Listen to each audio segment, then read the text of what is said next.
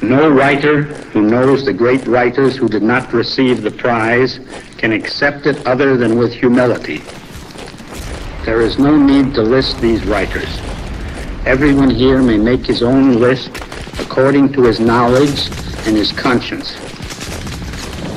It would be impossible for me to ask the ambassador of my country to read a speech in which a writer said all of the things which are in his heart. Things may not be immediately discernible in what a man writes, and in this sometimes he is fortunate. But eventually they are quite clear, and by these and the degree of alchemy that he possesses, he will endure or be forgotten. For a true writer, each book should be a new beginning for he tries again for something that is beyond attainment. He should always try for something that has never been done or that others have tried and failed. Then sometimes, with good luck, he will succeed. How simple the writing of literature would be if it were only necessary to write in another way what has been well written. It is because we have had such great writers in the past that a writer is driven far out past where he can go, out to where no one can help him. I have spoken too long for a writer. A writer should write what he has to say and not speak it. Again, I thank you.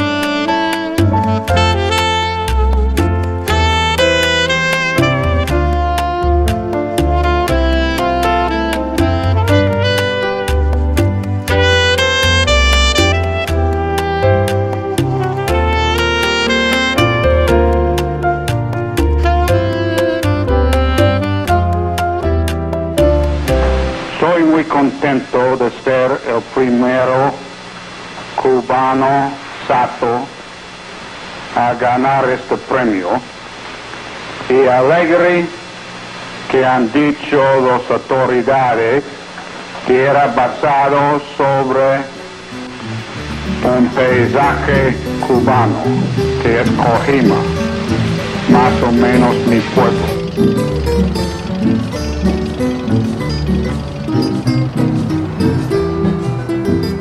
Ernest Hemingway's life and writing have taken us far out past where we want to go.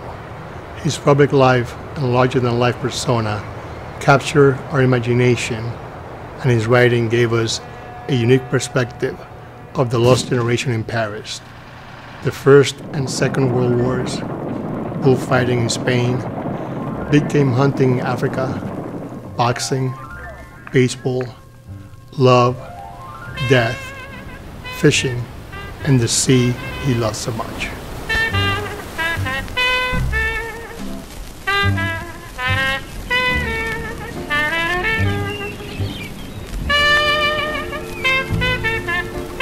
From 1928 until 1960, Ernest Hemingway made his home on one side of the great Gulf Stream or the other. And most importantly, he lived his life around people who lived and made a living on the sea.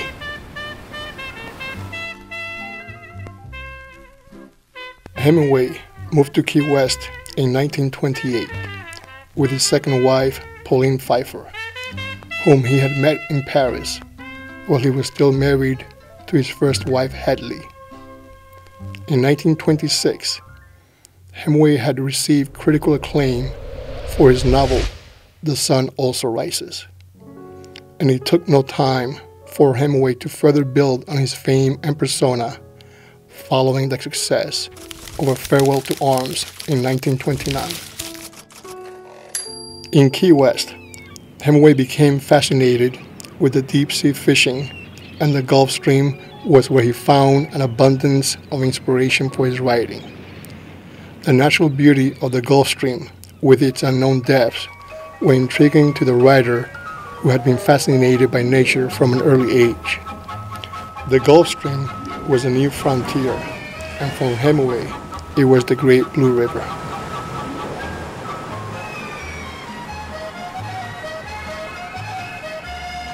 In 1931, Joe Russell and the eager Hemingway set off aboard Russell's 32-foot launch, the Anita, on a 10-day fishing excursion which lasted two months. They spent most of the daytime fishing and the evenings enjoying what Havana had to offer.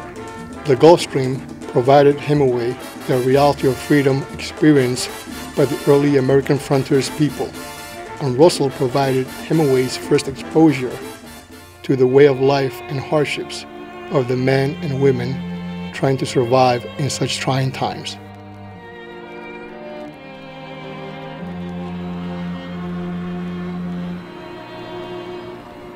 In the first place, the Gulf Stream and other great ocean currents are the last wild country there is left. Once you are out of sight of land and of other boats, you are more alone than you ever be hunting, and the sea is the same as it had been since before men ever went on it on boats.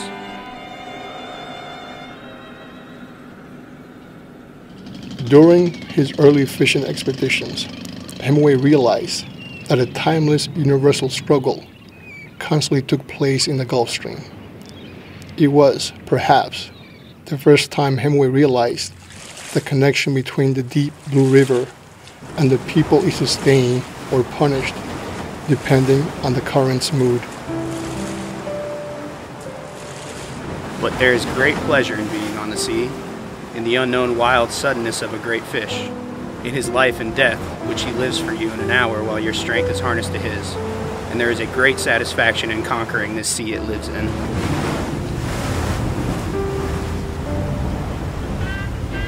During his time in Key West, Hemingway immersed himself in the local culture and lifestyle of the Conchs, and his friendship with Joe Russell flourished.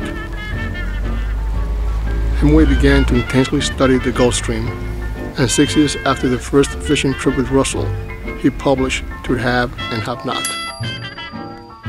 Hemingway's respect for Joe Russell is evident in the inscription of the copy of To Have and Have Not he gave Russell upon the publication of the novel.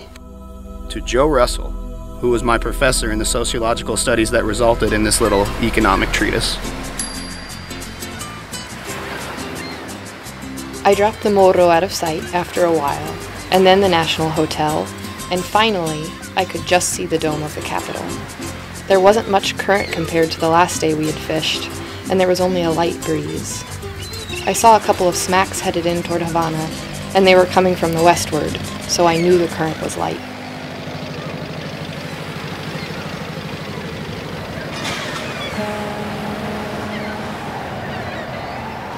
In the story of Harry Morgan, an illegal rum runner who, like Joe Russell, ran rum between Havana and Key West, Hemingway connected the two islands. The protagonist and other sorts of savory and unsavory characters faced the harsh reality of life in Key West and Cuba in the 1930s. It was as grim for those who had and for those who did not.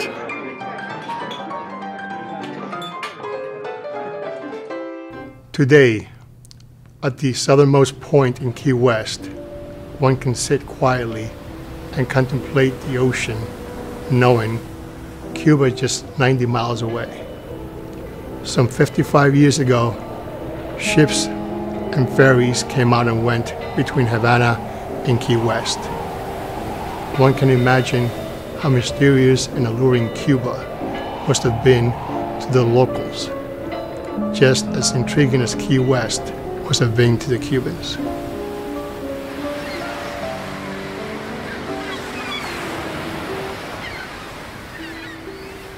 In many ways, the two islands were always closer than one could imagine. The islands, separated by politics and prohibition, were never separated by culture, outlook, or temperament. They share a similar flora and fauna, climate, cuisine, a uniquely outlook on life, and both relied and were affected by the Gulf Stream. All of those similarities ran parallel to a reality just 90 miles apart.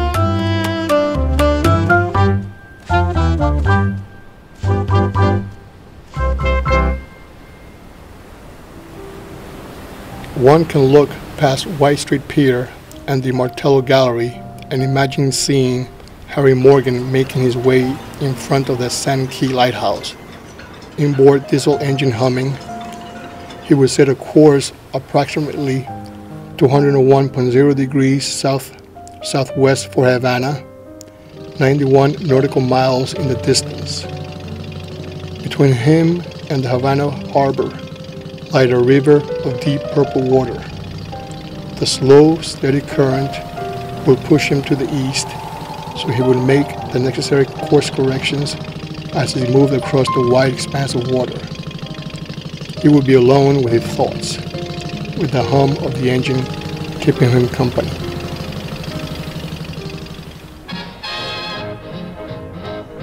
By 1939, Ernest Hemingway was ready to leave Key West and his second wife behind. He left one island for the convenience and privacy of another, and also for his new love interest, the writer and journalist Martha Gellhorn, who would eventually become the third Mrs. Hemingway.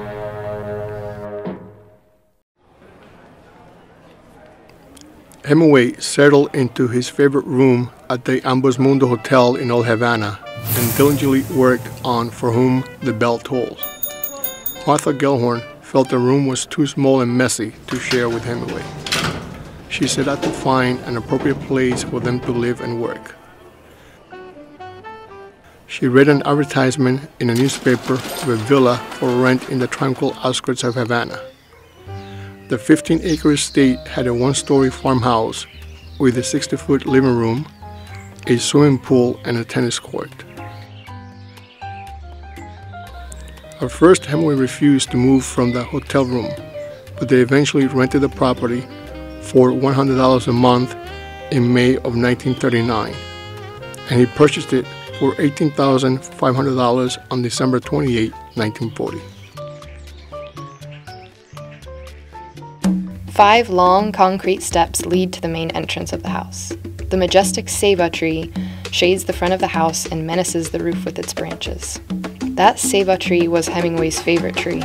He did not allow anyone to trim, prune, or damage the tree while he lived there.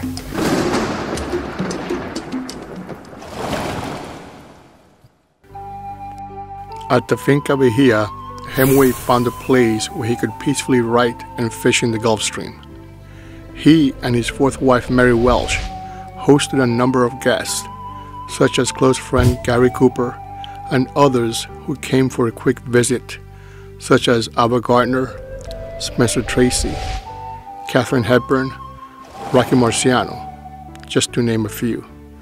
There were invited guests that stayed for extended periods of time, such as Valerie Danby Smith, a young reporter from Dublin, Ireland, whom Hemingway had met in Madrid, Spain in the summer of 1959.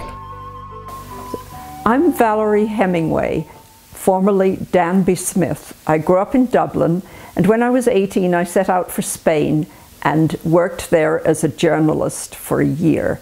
In the course of the year, I met Ernest Hemingway. I was sent to interview him in Madrid. And in the summer of that year, he had invited me to visit Pamplona for the feria and at the end of that week, he invited me also to his birthday party. I wasn't able to go because I needed to work, and he suddenly said to me, Well, if you need to work, why don't you come and work for me?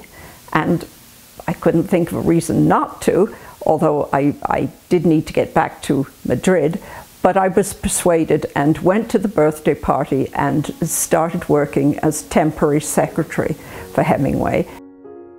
So in January, in fact, the 27th of January of 1960, I arrived in Havana and we got into the car and we drove through Havana and, and to the Finca Vigia. In the, uh, at that point, it was the, the little village of San Francisco de Paula. On the steps, uh, various members of the staff and Miss Mary, Ernest's wife, met me and greeted me and welcomed me, and I was shown to uh, the little casita, the, the, um, the, quarters on top of the garage where uh, various guests and the children and other people stayed. And it was just beside the steps that led up to the house. The sun was always shining, there were flowers, uh, beautiful um, tropical flowers, there were mango trees. I'd never even heard of a mango before I got to, to, um, to Cuba. People ask you why you live in Cuba, and you say it is because you like it. It is too complicated to explain about the early morning in the hills above Havana, where every morning is cool and fresh on the hottest day of the summer. There is no need to tell them that one reason you live there is because you can raise your own fighting cocks, train them on the place, and fight them anywhere that you can match them, and that this is legal. Maybe they do not like cockfighting anyway.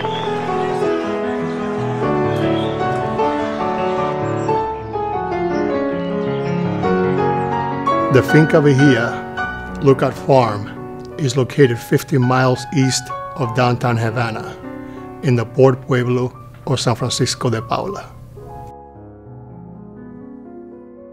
Hemingway made friends with his Cuban neighbors, inviting the local boys to play baseball inside his property. He also bought them baseball equipment and formed a Little League team. The Gigi All Stars was named after Hemingway's youngest son, Gregory. Jack, Patrick, and Gregory visited their father in Cuba as often as they could and played baseball with their newfound friends. People often ask me, well, you know, did he discuss his work with you and did, did he ask your advice? And I said, well, I mean, are you kidding? There's no way uh, that, uh, you know, he would have asked my advice and it would have been absurd because I didn't have any advice to give him he, advice. He had plenty of advice to give me, on the other hand. For Whom the Bell Tolls received immediate critical reviews and the book sold at a phenomenal rate selling 189,000 copies within two months. In a letter to his first wife, Hadley, Hemingway wrote, Book is selling like. The books are selling like frozen daiquiris in hell. People of all nationalities read Hemingway and they get something out of it. And I think it's because he had that, which you can only say is a genius of, but it was something, not a genius that you're born with, a genius that he cultivated by when he wrote, you write for yourself, but then if somebody else is going to read it, you have to, you have to um, curtail that and, and shape it for, for your reader. And if your reader is everyone, that's a pretty big job.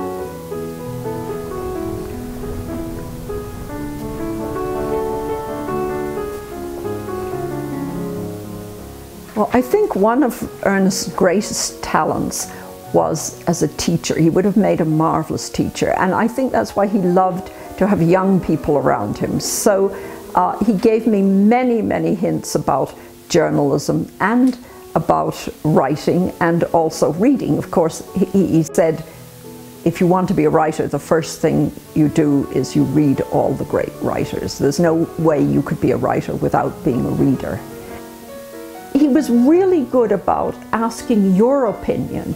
He didn't say, this is what I think, or this is what you should read. He'd say, well, read whatever you want of these, and then let me know if you like them. So I had no idea what it would be like living in their house with them.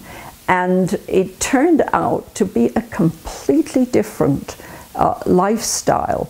Ernest uh, was very disciplined. In, in Spain, one got the idea of someone uh, who, um, even though he was working all the time, the bullfights, what he was doing was work.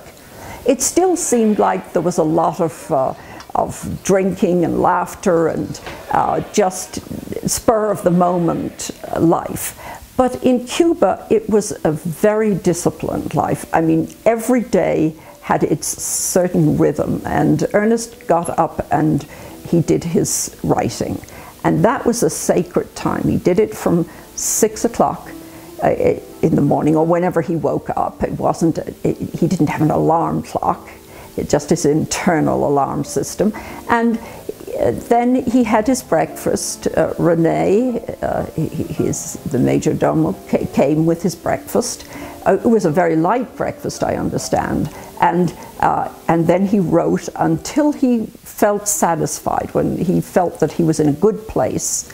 And then he put that away and he usually, he always did some exercise. In, in, at the finca, it was he swam in the pool there was often uh, some sporting activity. On, on, Wednesdays and Saturdays, we, well, which would have been earlier, we would have cut, we would have had lunch and gone straight out fishing. We'd go to Cojímar and uh, go on his boat, the Pilar, and go fishing. And Wednesdays and Saturdays were absolutely, um, that was a, a, a, something that he would not uh, forego. And any anyone who wanted to see him, either if they were worthy, they would be asked to come with us, or uh, he would make an appointment for another day.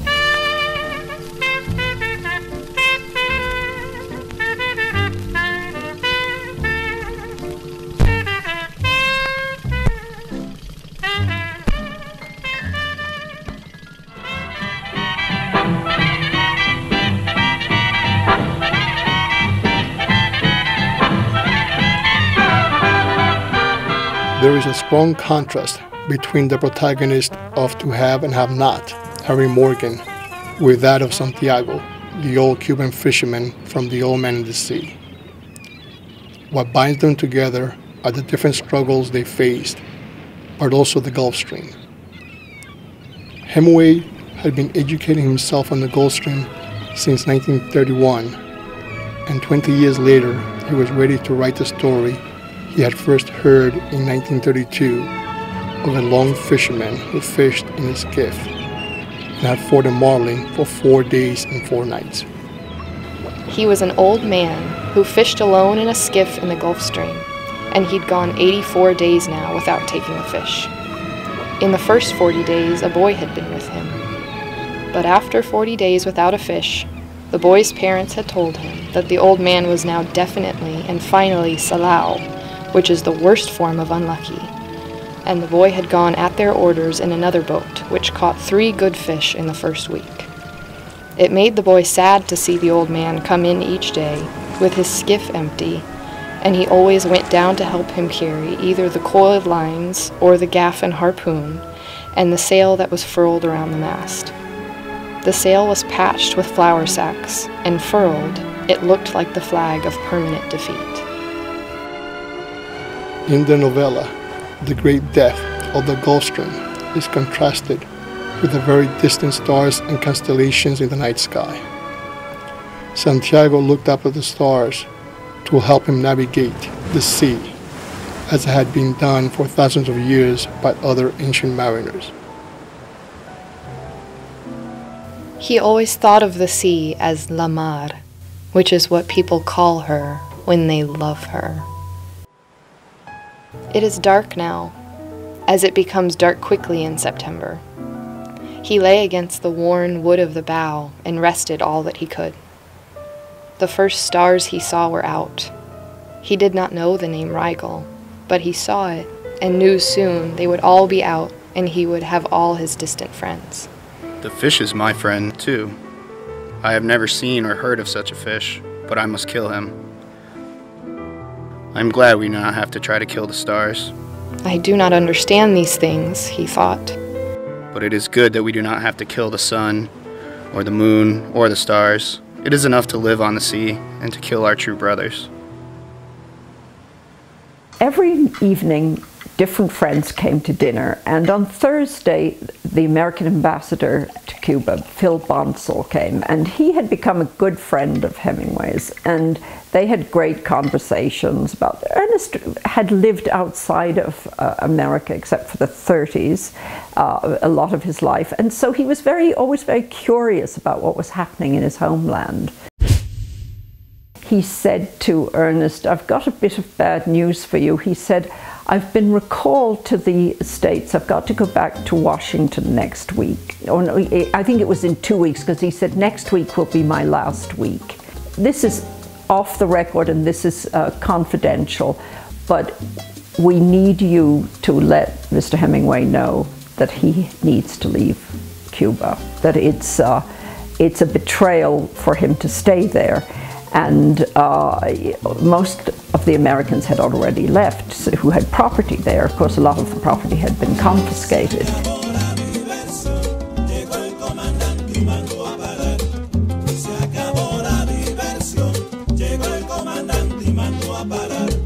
I'm a writer.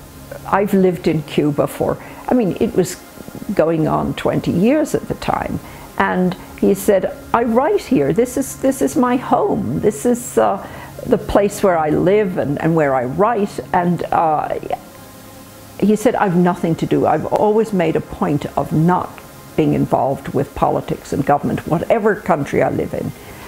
But uh, Bonsal said, well, you know, he said, this is serious, Ernest. The, the, um, they, they really mean it. And uh, he said, even, he said at one point, the word traitor came up. Ernest and Mary, you could tell, were really, really sad. And when we got back into the house, uh, Ernest was just very quiet. And in the following days, um, he obviously was milling this over in his mind.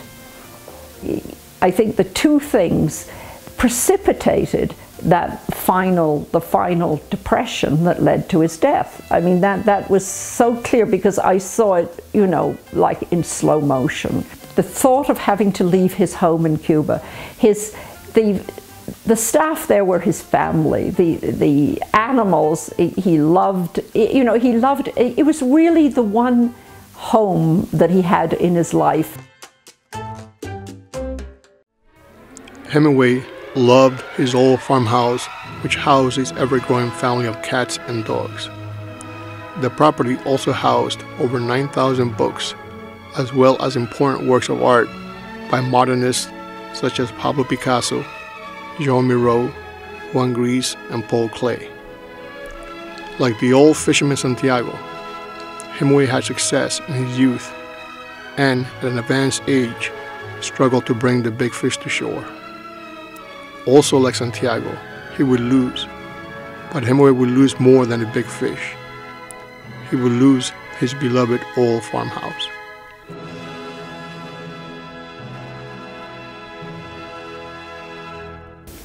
Well, my dad worked for Hemingway from 1939. He'd met him in 29 in Piggott, Arkansas. And then he was brought to Key West to work on the house at uh, the Hemingway house in Key West with uh, Pauline Hemingway. It, my dad's name was Telly Otto Bruce.